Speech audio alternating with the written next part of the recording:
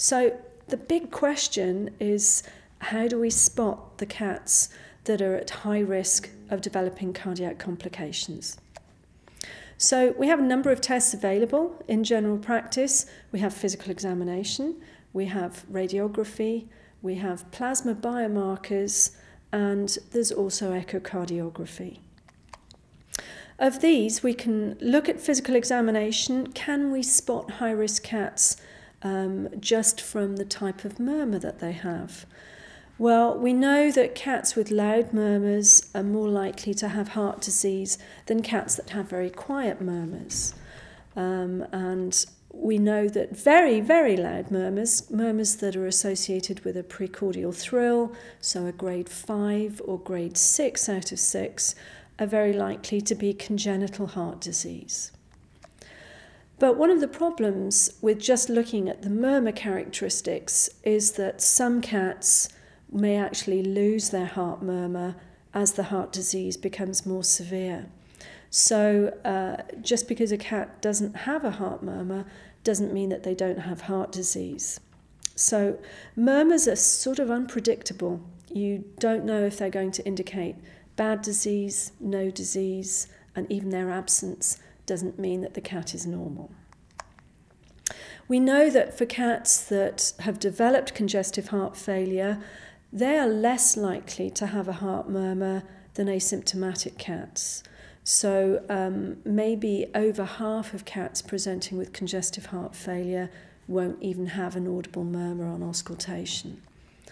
And for those cats where hypertrophic cardiomyopathy has been diagnosed, um, a murmur doesn't identify the cats at highest risk. In fact, cats with a murmur and HCM may be at lower risk of cardiac death than cats with HCM that have no heart murmur. So that doesn't make it any easier for us.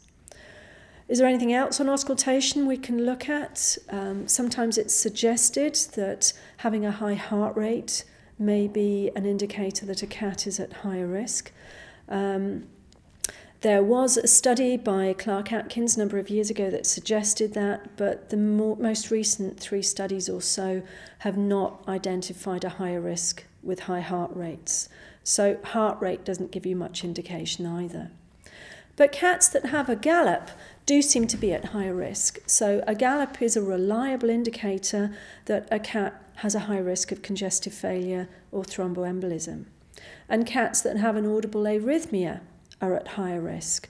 So cats that have an irregular heart rhythm on auscultation should undergo further testing and those cats should certainly undergo an ECG to try to identify the type of arrhythmia responsible.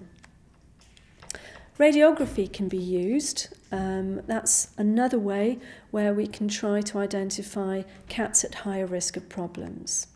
So uh, cats with cardiomegaly on radiographs are more likely to have serious structural heart disease. Many cats with hypertrophic cardiomyopathy will have relatively subtle changes on thoracic radiographs, but once the left atrium becomes enlarged, you're more likely to be able to identify cardiomegaly. Plasma biomarkers are, ex- are an exciting new area because increasingly we're recognizing that um, cardiac troponins and NT-proBNP may be indicators that a cat has uh, significant cardiac disease. And increasingly, we're starting to find that high levels of either of these plasma biomarkers may indicate cats at higher risk of problems.